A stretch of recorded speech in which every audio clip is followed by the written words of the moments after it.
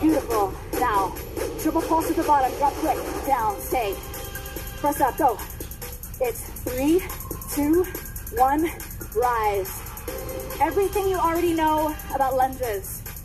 Front thigh parallel to the floor. If you can go that low, go for it. Stack the knee above the ankle. Make sure it's pointing in line with the middle of the foot. Ooh, I don't know about you, but I'm feeling it. Hand just flat. Single time. Drop, press, drop, press. Down, up. Great option here. We've got two weights. You didn't even know. This little guy is on fire as well. Keep it coming. Eight, seven. You see the sweat dripping. You're doing awesome. Four more.